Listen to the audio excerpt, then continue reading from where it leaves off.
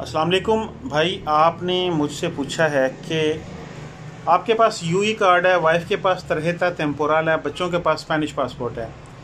سب سے پہلی میری آپ کو سجیشن ہے کہ آپ ابھی کسی دوسرے کنٹری میں جانے کا نہ سوچیں۔ وجہ کیا اس کی؟ اپنی وائف کا سب سے پہلے پرماننٹ کارڈ کروائیں۔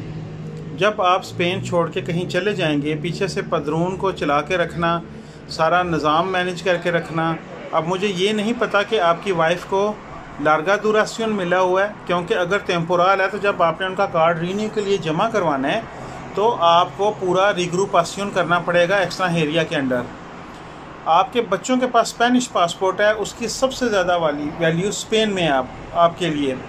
جرمنی میں جا کے ان کا ڈائریکٹلی آپ کو ڈاکومنٹس کے حوالے سے کوئی فائدہ نہیں ہے۔ اگر فائدہ ہونا ہوتا تو اس ملک میں سب سے پہلے ہوتا۔ ان کی بیس پہ آپ کو کوئی پاسپورٹ وغیرہ مل جاتا۔ جرمنی میں صرف آپ کو یہ فائدہ ہوگا، آپ نے وہاں پہ بھی پہلے خود جانا ہے۔ یو ای کارڈ ہے آپ کے پاس، آپ کے کاغذ، سب سے پہلے آپ کے ڈاکومنٹس چینج ہوں گے۔ اگر بچے اٹھارہ سال پلس ہیں، پھر تو موج ہے۔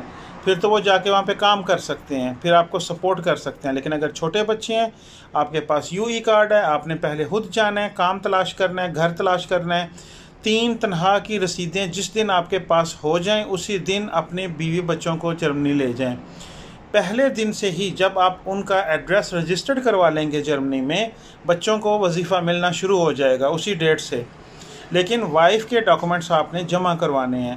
آپ کی بچوں کے اسپینش پاسپورٹ ہونے کا فائدہ صرف یہ ہوگا کہ جیسے آپ اسپین میں ایکسٹرا ہیریا میں جاتے ہیں، پوری ریگروپاسیون فیملیئر کرنے، جتنے فیملی ممبر ساتھ ہوں، اتنے ڈھائی سو یورو پلس ہوتا جاتا ہے نیٹ انکم میں۔ جرمنی میں جا کے آپ کو بھی اسی طرح صرف اپنے اور وائف کے پیپر جمع کروانے ہیں، دو فارم فل کرنے ہیں، دوسرے بچوں کے نہیں کرنے ہیں۔ تو آپ کو نیٹ انکم تھوڑی سی کم شو کرنا پڑے گی۔ نیٹ انکم کے اندر سے وہ گھر کا کرایہ کاٹیں گے، پھر کتنے پیسے رہ جاتے ہیں؟ بچوں کے جو کنڈر گرڈ آپ کو ملیں گے، وہ پلس کر کے ایزی ہو جائے گا، آپ کی وائف کے ڈاکومنٹ چینج ہو جائیں گے۔ لیکن اس سارے چکر میں میری آپ کو سجیشن ہے کہ آپ ابھی جرمنی کا رخ نہ کریں۔ جب تک آپ کی وائف کے پاس پرماننٹ لارگا دوراسیوں نہیں آ جاتا کہ انہوں نے صرف فنگر لگا کے اگلا کارڈ رینیو کروانا ہے۔